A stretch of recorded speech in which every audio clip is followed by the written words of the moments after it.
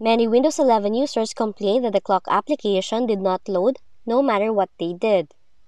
Now if this is also happening to your computer, let's see how you can fix this problem.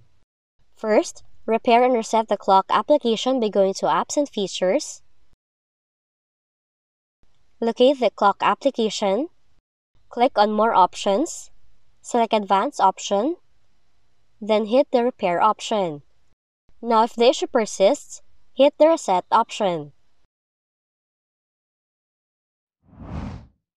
You can also repair your faulty system fast by using the SFC and the DISM tool.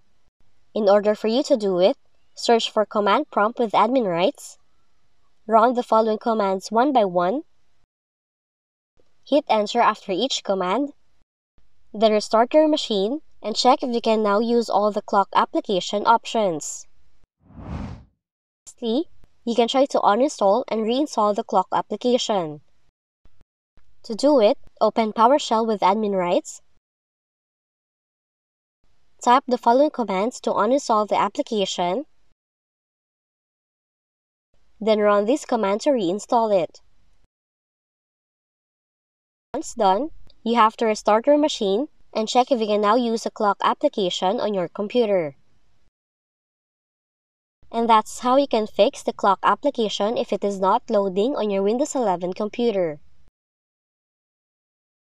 If you found this video helpful, kindly like and subscribe. You may also click and turn on the notification bell so you can be notified from whenever we release new videos.